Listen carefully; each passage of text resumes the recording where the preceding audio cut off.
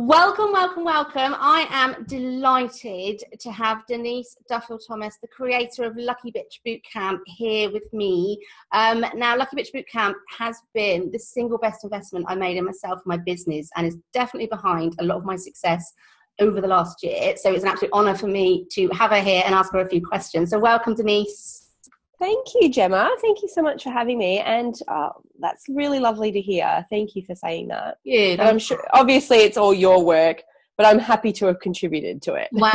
the, the framework that you teach in bootcamp has just been perfect for me. And it just works. It just absolutely works. Um, so, for people that don't know you yet, um, could you sort of talk through a little bit more about Lucky Bitch Bootcamp and what it is and what it means and so on? Absolutely. So, I am a money mindset mentor. But basically, I started out as a business coach, and um, back in my corporate career when I lived in London, I was a consultant. And I realized that when I started doing the one to one coaching work, people were so stuck on the most, to me, obvious things. You know, I would give them homework to do to go and work on their business, and they wouldn't do it.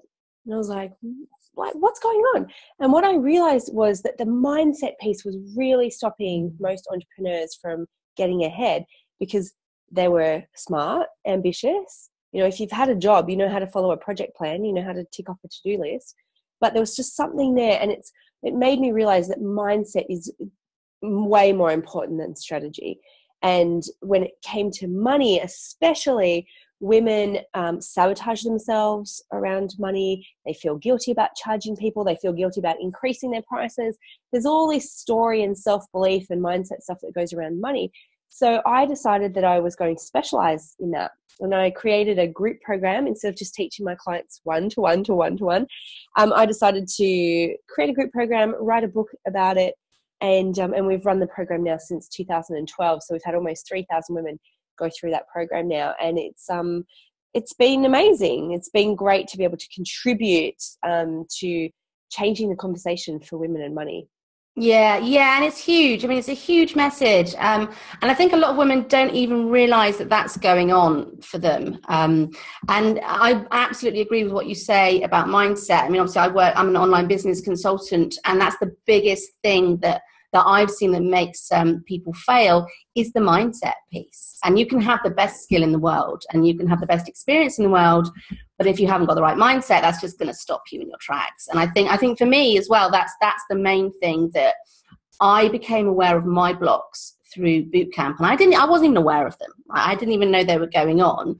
Um, and bootcamp helped me to kind of identify those and then work on them and that's kind of cleared the path for me to, to do so many different things which has been amazing um, mm. so one of the things with that because that's a really important point i think how do you think people can recognize that they've got those blocks in themselves yeah it's a great question and i think a lot of people come from the world of personal development or self-help where you're not really supposed to even acknowledge that you might have blocks mm. because sometimes it's all about surface kind of rah rah Pollyanna type thinking where you have to just be really positive all the time. And and the problem with that, it just does not go beneath the surface to figure out why you might be sabotaging yourself. And if it was just about, you know, motivation and, um, you know, positive thinking, then everyone would have a lot more money probably. You know, so what what I say to people is, how do you know if you've got a money block? Well, if you've been stuck charging people, if you've been stuck at an income level for a while, if you've hit an income plateau you're not sure how to go beyond it, well, chances are you've you've got a money block. And guess what? Everybody I know has money blocks. Even um, some of my most successful friends who have got you know seven figure, multi seven figure businesses, and I have a seven figure business. I have money blocks and I work on them all of the time. So chances are you do. It's just I think it sabotages you at different points, maybe in in different ways. So sometimes you might be able to, you know, get on, just create great things in your business through sheer willpower but at some point you're probably going to go back and sabotage yourself at some you know with, with your old blocks yeah totally and actually one of the things that um that really kind of um, appeared to me in boot camp was actually it's not just money blocks it's any kind of block and i've used um, the the framework and the, and the different methods that you teach in boot camp to work on other blocks. I had a massive block around the fear of visibility and basically just mm. not feeling enough. And and and I used those methods to really help me blast that. And it's it's done so much good for me and my self confidence and my belief in what I'm doing. Um, do you use those methods for um, other blocks for you as well, outside of kind of money blocks and so on?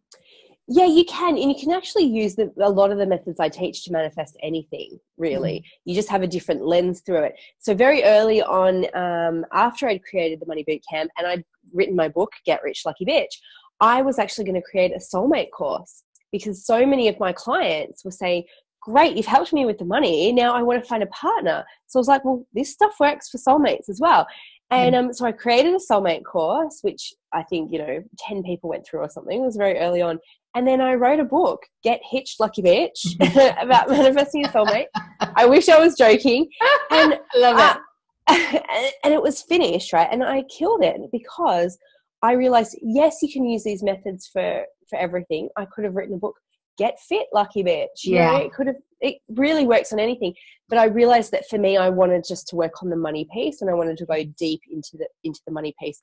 So over the last couple of years, since we ran the first boot camp in 2012, the material has gotten richer in lots of ways. It's gotten deeper and richer because I haven't you know diluted the message and gone to other things but anytime someone in the boot camp says oh can i use this on you know, whatever, I go, yep, just go through the boot camp, pretend I'm saying what it is that you want to manifest. And there's slight, yeah. you know, slight, slight little changes and differences. Um, but it's really a muscle of asking for what you want and being okay receiving it. It's and that is a muscle. And it doesn't matter what you're trying to manifest, it's pretty much the same. yeah, no, absolutely. And um and I've done that. And, and I don't think boot camp is just like a one-off process that you go through and then you're fixed at the end of it. I think it's like right. an ongoing thing that you have to keep working on and you can just sort of pick it up and put it down depending on your need and what are the blocks that, that you kind of you you find. Um, are there any certain elements of boot camp that you practice regularly? Because i i there's certain things that i have to do um, and i do them quite a lot. So things like um, writing down gratitude tapping mm. is massive for me. It really, really works for me. But are there any sort of particular elements um, in your framework that you use regularly to help you? I do tapping every day as well, mm. actually. And um, we do it as a family before we go to bed. So my daughter Willow is two and a half, and she's been doing tapping since she was, I don't know, maybe a year or something. I mean, we've I've always done it with her. her tapping is so cute. Well, I need to do an, a new one because now she says it because now she obviously yeah, is yeah. a bit older. And we've said to her, and if for those of you don't, who don't know tapping, it's emotional freedom technique. It's a way of releasing blocks and fears and phobias and all sorts of things. But we say to her, we do a couple of rounds and we just say, I deeply and completely love and accept myself as we do it. And then we say, Do you want to tap on anything else? And sometimes she says, No, I'm finished. But sometimes she'll say something like, even though I hit George today, I think it. it's so cute. It's just things that have been on my mind. But so EFT is a big one for me. Forgiveness work is a big one, and um, and I think just being in that that mindset that there's always going to be a solution whenever you're stuck with somewhere. There's always going to be a solution and a story that you need to go back to. It's not the universe doesn't like you or it's not meant to be. You always have to go back to the beginning and see what you can clear and declutter, and then you can move on. Yeah, absolutely. And there's so much back there, isn't there, that you can kind of you can pick up and and work on. Um, I'm going to mm. pick up on your story um, of Willow because I think that's lovely. Um, obviously, a lot of your stuff is around money memories and stuff that have happened in our past and kind of clearing those. As a mum, what else do you do to to create that kind of positive money memories for your kids? I mean, I've got a three year old son. So that's really important to me. Yeah, well, actually, this was so important that we put in um, a whole new module around this in the boot camp about how to talk to your kids about money. Mm. And um, because as soon as I had Willow, I realized, even though I'd been working on my money mindset for such a long time and, and been working on the way I spoke about money, when I had um, kids, suddenly all these old things came up that I didn't even realize were, were part of my um, vocabulary. Like, for example, don't touch money, it's dirty. You know, we've heard that yeah. so many yeah, times. Yeah, and the first time I said it, because we, you know, we have coins in bowls around the house. And so we let her play with money. And she was putting it in her mouth. We're like, don't put it in your mouth. And then I went, oh wow, we can't say that. So we just say we don't we don't put money in our mouth. We take care of our money. And so it doesn't have the emotional charge around it that money is a dirty thing. It's just more like we don't put that in our mouth. Like I would say to her, we don't put crystals in our mouth or we don't put, you know, something else in our mouth. Mm-hmm. So it's just trying to make that really neutral kind of language. Um, things like, um, I spoke about this today on another interview. You know, when you go to kids' birthday parties and you blow out the candles and they say make a wish but don't tell anyone, it won't come yeah. true. Yeah. I only realized that once we started going to kids' parties and I went, wow, that's so we yeah. always say in our family, we pretend to do birthday and we say, make a wish and tell everyone your wish so it can come true. Like little things like that, we really try and look at changing our language. And mm. um, we do this other fun thing about parking fairies, which my friend Beck Gibson taught me. She always gets the best parking spots. And she says, I just ask the parking fairies. So now when we're driving somewhere, we say, let's ask the parking fairies for the best parking spot. And so kids are naturally good manifestors anyway. Yeah. And I think you just have to make sure you encourage that and don't say some of the things that we maybe have heard and learned as kids, like money doesn't grow on trees and you don't get something for nothing and just all those things. So you just have to watch yourself and you don't have to be perfect. They're going to have, you know, their own money stuff that comes up. So we don't have to worry about that. The best thing we can do is just, you know, work on ourselves, be good role models, and just try and just get rid of some of that negative stuff.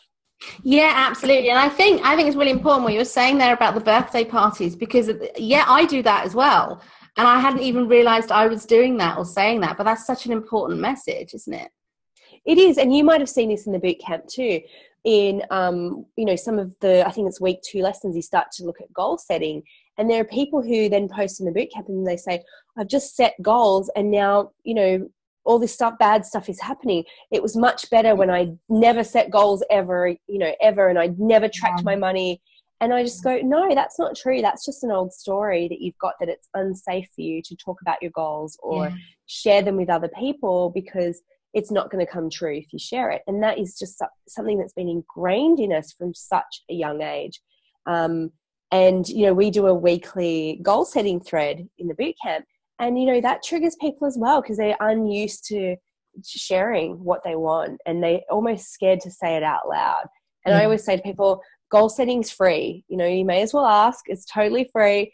Um, and actually the funny thing is i don't know if you've noticed this but because every week we have that goal setting yeah, yeah yeah we do. And yeah and once a month there's one that says write it down on a piece of paper and take a picture of it and that is always the shortest thread of the yeah, week sometimes that goes on that. forever yeah. Because people are scared to commit it to paper. Yeah. It feels too real. And it feels like almost like, oh my God, if I write it down on paper, what if it doesn't come true? It's like, oh my God, well, you, the paper was probably essentially free as well.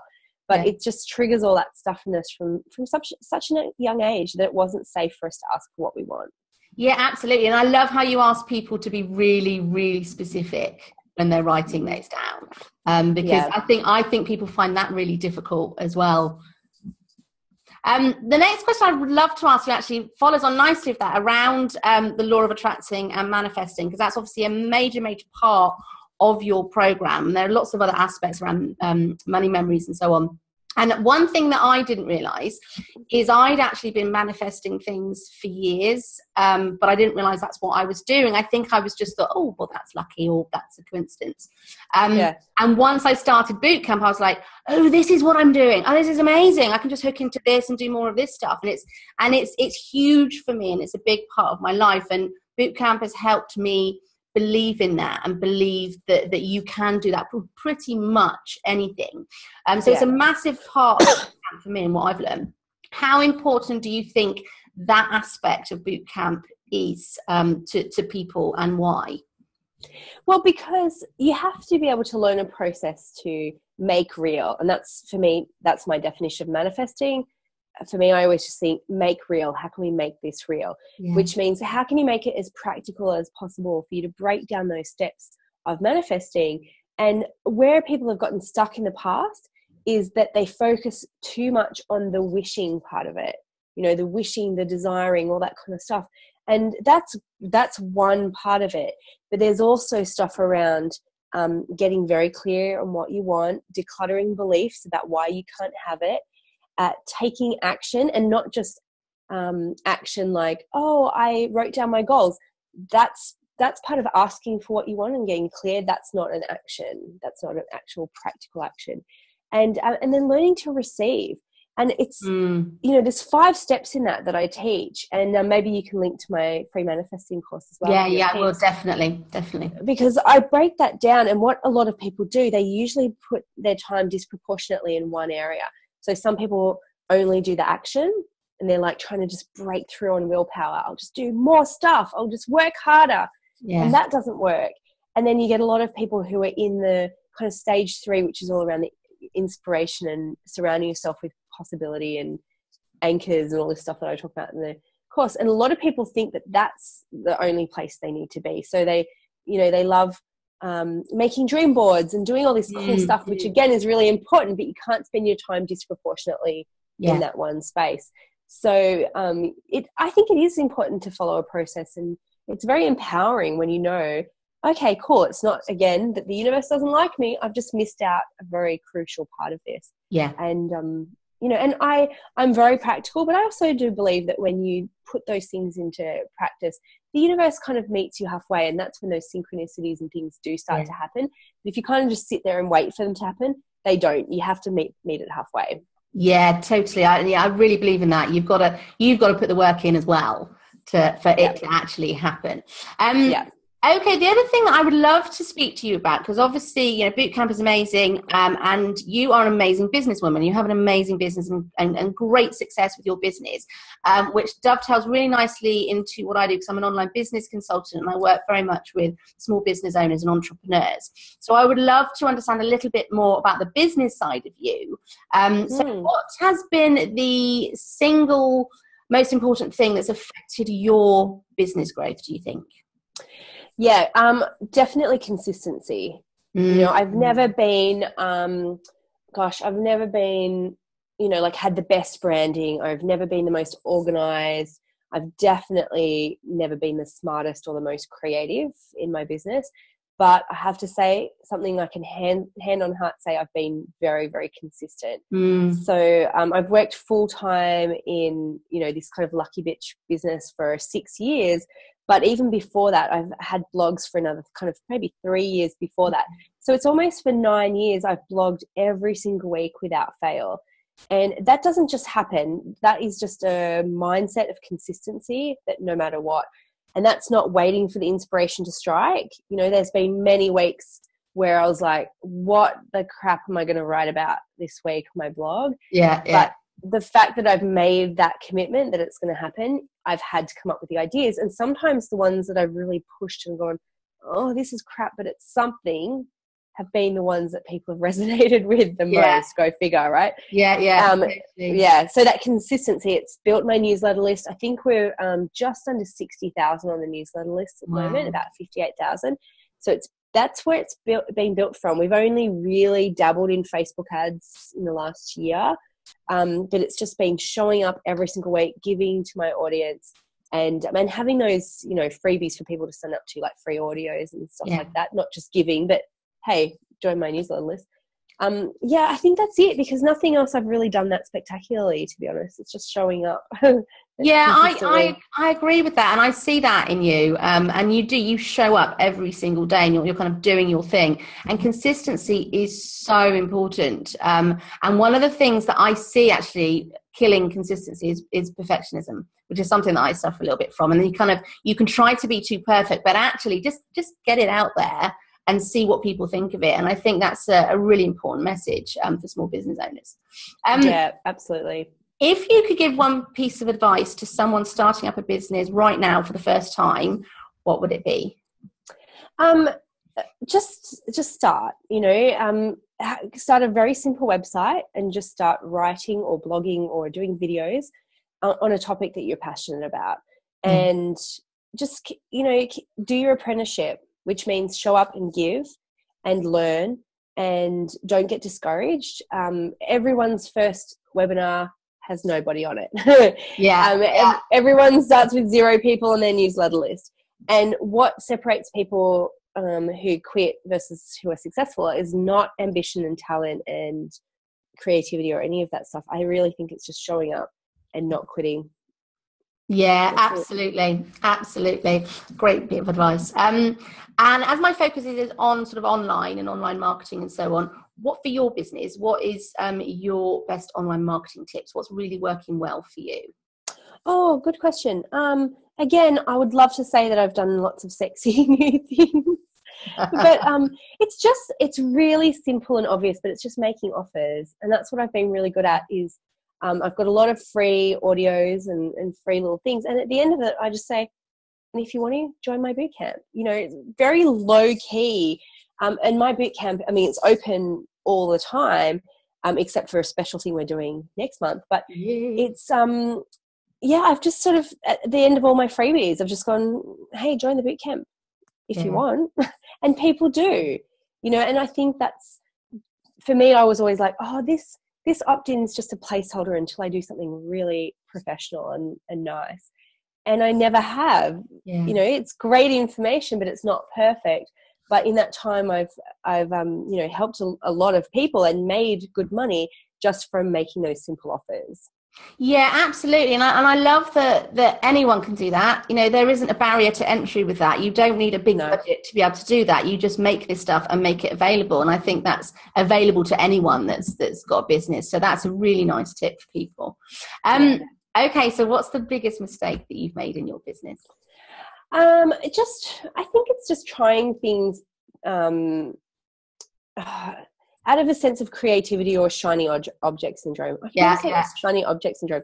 Like things like doing the soulmate course and soulmate book that cost me probably about five thousand dollars to yeah. put that together, and then I scrapped it. Um, making an app which people love. I know people love my app, but again, it was just kind of going outside my zone of genius a little bit. Yeah. Um, so just little things like that, and not maybe not being discerning about some of the courses I'd, I'd um, have joined. You know, I'm kind of like I'm very susceptible to NLP. So I was like, yeah, everyone else is joining. Maybe I should join too. And um, you know, but I, I I think what's been successful for my business is seeing those things not as mistakes, but just as rites of passage. Yeah, you know, yeah, I've been very good at that. Yeah, I do. I, I don't see mistakes. I just see learning opportunities. Um, so I, I, yeah. I, absolutely agree with you there. And there's really, really nice experiences to, to share. I really suffer from the shiny object syndrome as well. So I'm like, oh, I could do this thing, and it's like totally off course and doesn't fit with my strategy. So yeah, I uh, I sympathise. Um, oh no, I was going to say one more thing. Yeah, is making yeah. those. I made a whole bunch of branded um, things just for fun last year, like and, and stuff that I was never going to sell, but I kind of did it for fun. And that was really dumb. it was like a branded swimsuit and caftans and oh, just I random. I love those though. I've seen you in those. They look really a mesh uh, tank top. Oh my god, just really random stuff. I love it. I love it.